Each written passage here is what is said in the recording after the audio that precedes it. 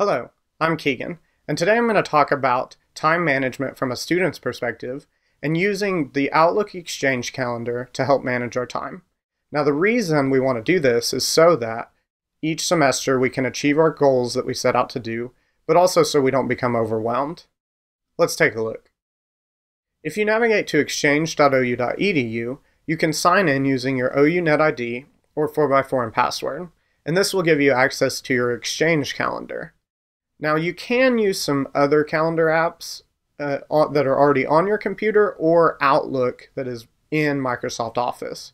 However, I will encourage you to add your Exchange accounts to your mobile devices such as smartphones or tablets because it's very convenient to access your calendar on the go. But let's take a look at the web version of this tool.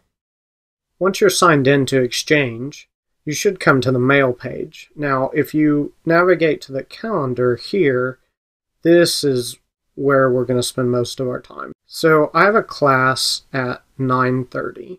And what I want to do is I'm going to add a new event. And the class that I have is English. 11.13. And this is at Dale Hall it starts from 9.30 and finishes around 10.30. Just to be safe, I'm going to set a reminder for 30 minutes before the class begins. Well, this class is actually a class that goes Monday, Wednesday, and Friday, so I actually want to set it up to specify that.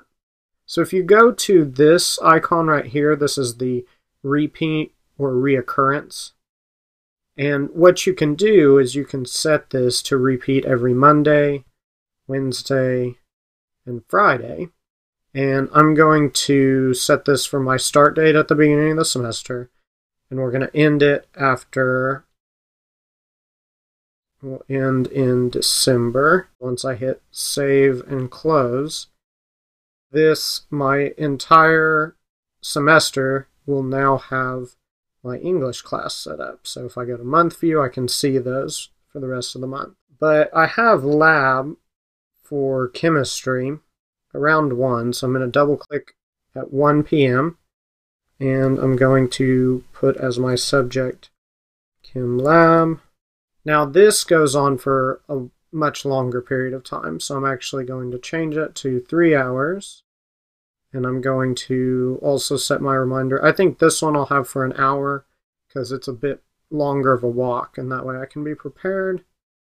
And then I'm going to set this as reoccurring, but it only happens on Monday. So I'm only going to select Monday and then I'm going to make the end date the same as before. So once I'm done, and I may type a note here to bring goggles.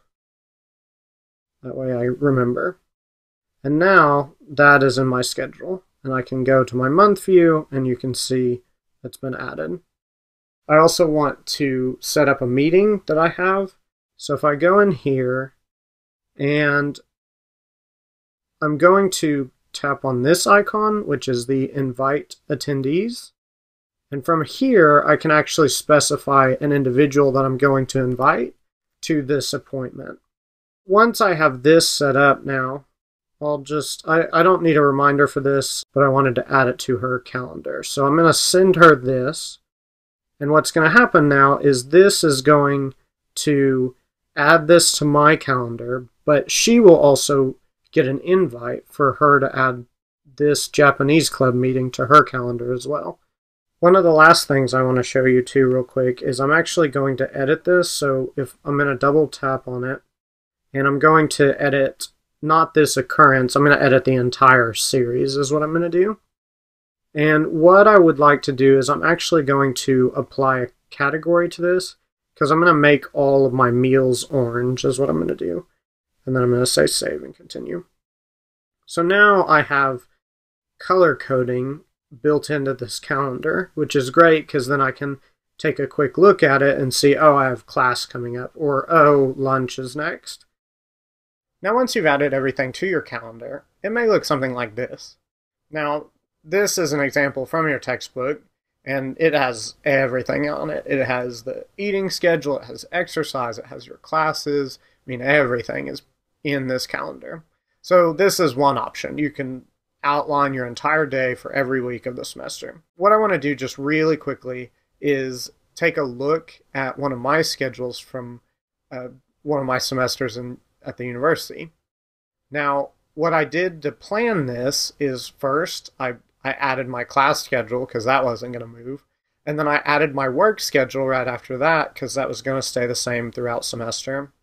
Now, after that, I had some extracurricular that I was that was very important to me, so that's in there. And then also I had a volunteer activity that I participated in every week. So as you can see, those four things have already filled up a lot of my schedule.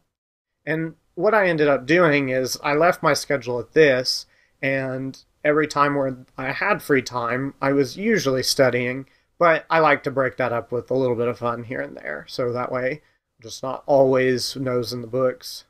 That way I could have a good time in college. Now, what I'm trying to say is that whether you schedule everything in your day or whether you just schedule your classes and work and other activities, this tool, this practice of scheduling activities of time management is going to be valuable to you in your academic career. It's going to help you succeed and it's going to help you obtain your degree. So I hope this has been beneficial to you. And as you move forward, I wish you good luck in your studies and in life.